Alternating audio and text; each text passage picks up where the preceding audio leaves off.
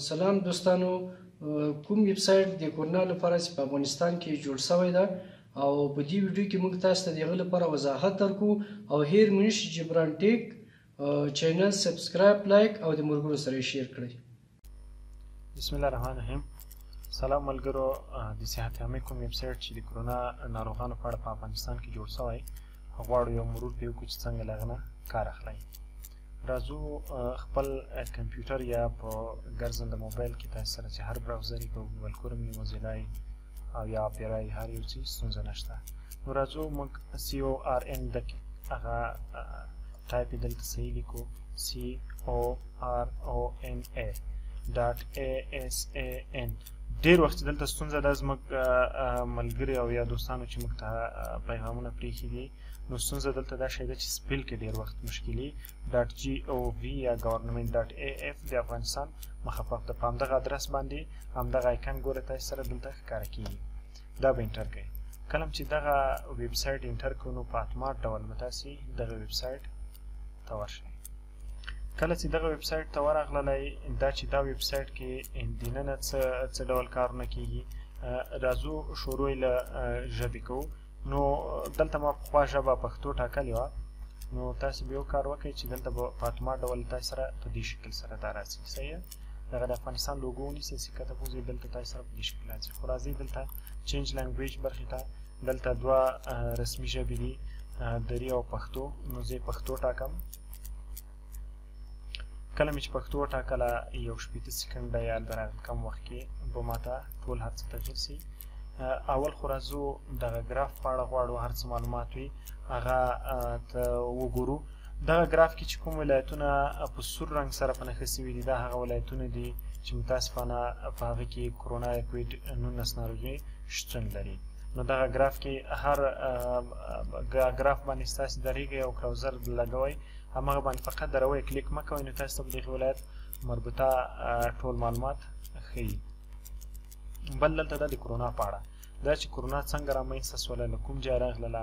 تاسو ته تاسو په ژبه به ښه دقیق معلومات دلته درکړي لکه د هغه له مثال نه کرونا څه شی و د کرونا تاریخچه څنګه وه کرونا وایرس چیرته وموندل سو دا نښې نښانې کرونا وایرس څومره خطرناک ده کرونا وایرس څه ډول ده نو ښه دقیق ټول معلومات دلته تاسو ته درج شوي یا په همدغه ځای کې تاسو مطالعه کولی شئ که بیا بیرته یو ریفریش غواړئ دغلته یو کوچنی ریفریش بټن یا د تازه کولو بټن هم ده چې بیرته تاسو سره د ډیټابیس تازه شي که کوم نوي معلومات پیدا شوي بله برخه ده د کرونا په اړه راپور ورکول که تاسو غواړئ چې د کرونا په اړه راپور ورکړئ یو یا خدای نه خواسته داسې څوک ولرئ دغلته چې د کرونا علایم ولري نو تاسو کولی شئ د صحت عامې محترم وزارت ته له دغه ادرسه هم خپل معلومات مرکزي ډیټابیس ته ورولېږئ نو په هغه باندې له کلیک نه وروسته به تاسو ته دغسې یو بل فورم راخلاصي په دغه فورم کې به لومړی خپل ولایت دلته وټاکئ چې په کوم ولایت کې ستونزه ده یا په کوم ولایت کې همدغه ناروغ ده هغه مربوط به ولسوالۍ وټاکئ د هغه نه وروسته به د هغه ناروغ کومه شماره چې ده هغه به وټاکئ مثال او یا چې هره شماره تاسو دلته درج کوئ همغه شماره به وټاکئ دا چې نوې پېښو شمېره څومره دا به دلته درج کړئ بیرته جوړ شوي کسان څومره دي هغه هم دلته درج کولی شئ چې تر څو پورې تاسو معلومات دقیقا ډیټابیس ته سم په رسمي ډول انټري سي یا ثبت سي او مجموعي شمېره به دلته وي. دلته د مړو شمېرو کسان هغه کسان چې پخوا په دې ولایت کې پرې اخته شوي ول او مړه شوي ول. وروسته له هغې نه خپله نظریه دلته ټاکئ او بعد له هغې نه تاسې یو بټن لرئ په نوم د ثبتولو نو دا معلومات تاسې مرکزي ډیټابیس ته ثبتېږي او هلته وروسته له هغې نه کتل کېږي. بل لرئ روغتیايي معلومات روغتیايي معلوماتو کې تاسو کولای شئ هغه معلومات چې د صحت عامه محترم وزارت لخوا دلته تیار د پی ډي اف په شکل باندې ورکړل شوي دي هغه له ځان سره راډاونلوډ کړئ نو څنګه چې کلیک ډایرکټ د فایل تاسو سره دوی مې د ډاونلوډ سي او په خپل موبایل کې خلاصوي پلی سټور ته ورسئ په پلی سټور کې به یو اپلیکیشن ده په نوم دی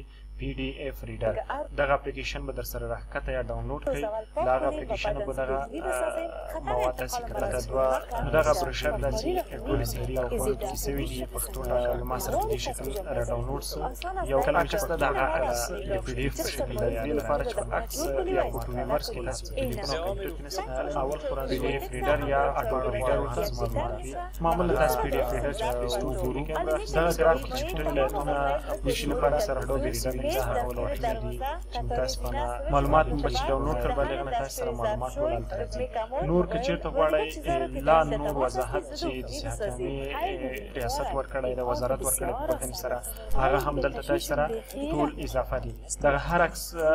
ته مخامخ یو تکمه ده یو لینک ده په نوم د ښکته کولو په همدې باندې کلیک کوئ همغه مربوطه عکس به تاسو سره په اتومات ډول ستاسو کمپیوټر او یا تاسو موبایل ته ثبت شي فقط ډبل کلیک پې کوئ او هغه صحیح لارښوونې چې په کوم عکس کې سوي دي همغه به تاسو سره دلته ښکاره شي همدغسې دا څو عکسونه چې دلته ورکړي دي سکرول کته راکش کړئ او هغه ټول عکسونه مثال دغه عکس زما په کار ده همدغه عکس غواړم ښکته کوله به لري نه ډایرکټ پای سره دغه عکس په اتومات ډول ستاسې کمپیوټر او موبایل کې ثبتېږي چې هغه څه صحي لارښوونې پکې شوي دي د وزارت لخوا خو که غواړئ په دې برخه کې ویډیو وګورئ دلته راځئ تاسې ویډیو او ویډیو باندې ښکته کول عین همدغه رقم ته ښکته کېږي لکه څنګه چې تاسې سره فایل ښکته کېده په دې شکل سره به تاسو سره ویډیو هم په اتومات ډول هغه صحیح ویډیو چې د صحت عامې وزارت لخوا جوړه شوې ده راښکته شي په یو پلیر کې له ځان سره په کمپیوټر او موبایل کې کتلی شي ښه شي راغلی یو صحي معلومات چې صحت عامې په اړه ویډیو جوړه کړې او بیا یې دلته اپلوډ کړې بل په دې برخه کې دا روغتیايي معلومات مو هم وکتل ټیسټ برخې ته راځو په ټیسټ برخه کې تاسو څنګه چې مخکې د راپور په اړه کوم هغه لري فورم لري همغه رقم راپور دلته هم لرئ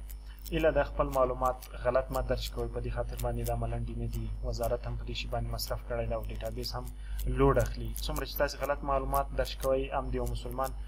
وخت پکې ضایع کوئ او هم د هغه صحیح معلومات دلته خرابوئ نو ایله ده چې ښه دقیق معلومات دلته درج کړئ دا څه ټوکې نه دي، دا جدي ستونزه ده. معمولا له دې ستونزې سره ډېر بااحتیاطه اوسئ، ځکه دلته ډېری ملګري شته چې ډیټابیس د همدغه عمره لوډ اخیستی دی، د دوی د ستونزې له وجې اخیستی چې دوی د یو چا په اړه څه هېڅ فقط پېژني، د همغه د هویت یا د هغه شخصیت د خرابېدو لپاره د هغه معلومات ودرج کړي او وزارت ته یې ولیږي. نو هیله ده چې دا کار مه کوئ، دا ښه کار نه ده. نو راسئ دلته خپل هغه ناروغ نوم ولیکئ، کوم ناروغ چې له تاسې سره ده او غواړئ معلومات یې هلته درج کړئ. تاسې جنسیت یې وټاکئ چې کوم ډول جنسیت لري، هغه شماره یې دلته اضافه کړئ، د اوسېدلو جای اضافه کړئ، مثال په هر ولایت کې همغه ولایت دلته انتخاب کړئ، بعد له هغې نه سکرول نیسو ښکته راځو، دلته چې کومې پوښتنې د وزارت له خوا شوې دي ډېرې اساس او ډېرې دقیقي پوښتنې شوې دي، دا چې دا پوښتنې څنګه په فورم کې رسېږي موږ یې دلته د مثال په ډول تاسې ته تشریح کوو، دلته نوم لیکئ د ناروغ، دلته یې شماره لیکئ، دلته یې جنسیت ټاکئ او دلته یې د اوسېدلو جای. دا فاطمه ډول تاسو سره راځي فقط هغه دوه خانو کې تاسو لیکل کولای شئ د نور کې تاسو سره تیار ثبت شوی دی ولایت او د اوسېدو ځای هغه هم تاسو سره راځي او جنسیت هم تاسو سره فاطمه ډول راځي آیا تبه لرئ که چیرته مو دغه طرف کې کلیک او دا بټن دی خو ولاړ دا سوال چې له تاسو نه شوی چې آیا تبه لرئ دا به په تاییدي ډول اوس تایید شو که چیرته آیا زکام لرئ نه خیر دا تایید نه ده دا وزارت ته تاییدي په شکل په دې فورم کې نه اضافه کیږي آیا ټوخیږئ دغه مسله چې دلته ده که دا چیرته هوکئ نو دغه چې دا کله په سور شکل سول نو دا تاییدي شکل سو فقط دی خو بټن او دی خو بټن په کې کګلو سره تاسو په کمپیوټر کې د ماوس په ذریعہ باندې کولای شئ او په موبایل کې د ګوتې په ذریعہ باندې فقط یو طرف کلیک کوئ بل طرف کلیک کوئ نو دا معلومات تاسو سره هغلته ټهیریږي نو دغه معلومات نو ورسته دلته ګوره تاسو ته علایم هم درکړي دي دغه معلومات دقیق د کول نو ورسته فایل اخلي فایل کې به ډایرکټ په اتومات ډول تاسو معلومات مرکزی ډیټابیس سي انټری یا ثبت سي بل برخه یا بل ټاب یا بل بټن سي دغه د ولایتو احصایه ده د ولایتو په احصایه کې تاسو کتلی شئ د ټولو ولایتو په اړه معلومات ترلاسه کړئ چې په کوم ولایت کې په څومره اندازه پیښې ثبت دي او کومې نوې پېښې دي پکې کومې پخوانۍ پېښې دي کومې مرګ ژوبله لري او څومره فوتي شمیرې دي بیرته څومره کسان پکې رغېدلي یا جوړ شوي دي او مجموعي شمیر د یو ولایت څومره ده لومړی تاسو په دې سر کې دغه کوم شکل چې وینئ دلته تاسو تاریخ لیکل سوی چې نن ګوره د اپریل یا د څلورمې میاشتې دیارلسم تاریخ د دوه زره او شل کال دا په دې ډول تاسو راغلی دغلته دا کوم ټایم ده دا په ډیټابیس کې په څلورویشت ساعته شکل ثبت سوی ده نو ځکه دلته اوولس راغلی دي نو که چیرته په 12 ساعته وای تاسو سره معمولا هغه وخت صحیح وو تاسو کنورټ کوي فقط هم دغه ولس بجې خپل نارمل ساعت ته کنورټ کوي په 12 باندې هغه وخت تاسو معلومیږي چې تر کوم وخت پورې تاسو د معلومات ګورئ راځو دلته ټول ولایتونه د افغانستان پکې اضافه شوي دي بلخصوصا هغه ولایتونه پکې اضافه شوي دي چې هغه ته پیښې شتون لري هغه ولایتونه لا تر اوسه پورې دلته نه دی وریځه خسوي چې په هغو کې پیښې نشته لکه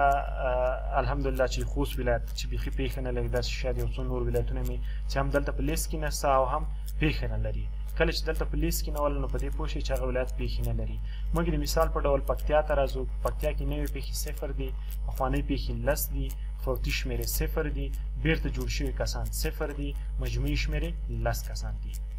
نو دغه معلومات چې د هر ولایت په اړه تاسو اخیستلی شئ دا په کومه برخه کې کولای شئ دا د ولایتونو په احصایه کې کولای شئ او که چیرته تاسو ستونزه لرئ اول دا ژبه ځان ته تغییر کړئ بل هغې نه تاسو معلومات کولای شئ بل لرئ کورپاڼه په کورپاڼه کې بیرته هغه هوم سکرین یا په اصطلاح باندې هغه اصلي صفحې ته بیرته راګرځئ په کومه صفحه کې چې دغه ډاشبورډ یا تاسو ته دغه افغانستان نقشه د ګراف په ډول ښکاره شوې ده یو څه چې دلته په ښي طرف کې موږ ته ښکاري دغه رنګونه باید ډیر مهم دي چې دا رنګونه باید موږ په یاد وساتو چې دا رنګونه څه څه معناوې لري او دا رنګونه چې لپاره اضافه شوي دلته چې کوم نارنجي رنګ ده دا نوې پیښې دي کوم چې دغه شین رنګ ده دا پخوانۍ پیښې دي کوم چې دا سور رنګ ده دا هغه پیښې دي هغه ناروغان دي چې وژل شوي دي یا د دې ناروغۍ له وجې مړ شوي دي او بیرته جوړ شوي کسان چې دغه په دې رنګ کې دي او مجموعي شمیر او د پخوانۍ پیښو د دغو رنګ یو شکل ده نو کله چې دلته راځئ په ټول افغانستان کې ګورئ چې ټوټل پېښې څومره دي اته پنځوس په ټول افغانستان کې مجموعي پېښې سوي دي پخوانۍ پېښې څومره وې په افغانستان کې شپږ سوه اووه پېښې وې نوې پېښې څومره ور اضافه سوي دي اته پنځوس پېښې ور اضافه سوي دي بیرته جوړ شوي کسان چې دی هغه په دغه رنګ کې دی هغه اته دېرش دي دغه تاسو سره شماره ښکاري او متاسفانه چې کوم هغه کسان دي چې د دې ناروغۍ نه مړه سوي دي هغه یوویشت کسان دي چې په دغه سور رنګ سره ښودل سوي او مجموعي کسان چې د پخوانۍ پېښې سره یو رقم ته دي بدبختانه په افغانستان کې شپږ سوه پنځه شپېته کسان دي نو دغه معلومات دي چې ډېر دقیق دلته خانه پورې سوي دي او په ټولو رنګونو سره تاسې سره په نښه سوي ترڅو پر تاسې سم پوه سئ بل یو برخه چې دغه ویب سایټ لري تاسو ته دغه خواله هم درکې که تاسو چیرته د یو ولایت په اړه غواړئ چې معلومات ترلاسه کړئ او تاسو سره انټرنیټ ضعیف وي چې د ولایت احصایه نه راخلاصي نو دلته راسئ سرچ ته په سرچ کې ولیکئ چې کوم ولایت مثال غواړئ زه مثال د کوم ولایت په اړه چې تاسو وغواړئ معلومات ترلاسه کړئ د هغه ولایت هغه لیکئ نوم مکمل لیکئ مثال کابل لیکئ کابل په اړه او دغلته به تاسو دغه کوچنۍ کومه لوګو چې ده د سرچ دې باندې کلیک کړئ تاسو د کابل مربوطه معلومات دلته ټول راړئ او ولایت ولسوالۍ تاسو ته ټول راړئ مجموعي شمېر هم تاسو ته دلته راړئ چې په کابل کې څومره پېښې ثبت شوي دي مثال په ډول زه دلته راځم هرات هرات مې ولیکه او هرات نه وروسته ډایرکټ دې باندې کلیک کوم ماته د هرات ولایت ټول معلومات راواړول چې په هرات ولایت کې مثال 280 پیښې شوې دي 14 کسه رغېدلي دي 15 کسه متاسفانه مړه دي او 280 کسان ټوټل لا اوس هم مثبت پاتې دي همدغه څه کولای شئ د بل ولایت بل ولایت په اړه کوم ولایت په اړه چې غواړئ معلومات ترلاسه کړئ همغه ولایت وګورئ فقط دلته ټایپ کوئ او په اتومات ډول تاسو سره را اوړي سکرول کښته راوړئ او له هغه نه وروسته دغسې معمولا تاسو دلته هم ټول ولایتونه ولسوالۍ او شیونه کتلی شئ بله برخه چې دلته پېسته ده دا فقط د دې لپاره ده چې دغه هغه کې څه تغیرات راولي یعنی دا زوم او زوم اوټ کوي یعنی رانږدې کوي او بیرته یې لرې کوي کنه ښی خواته کوي مثال یا چپ خواته کوي او یا پورته شکل ته کوي کنه دا کار تاسو دغه فقط دغه نقشه ونیسئ دا کار منول هم کولای شئ او دلته لدې تکمونه هم کار کولای شئ هیله ده چې دا ویډیو له نورو مرګلو سره شیر کړئ د ثواب خاطر شیر کړئ زموږ چینل در سره سبسکرایب کړئ د ملګرو سره شیر کړئ چې هر څه چې زموږ مخې ته راځي موږ به د هیوادوالو لپاره حتما کولو دي چینله مننه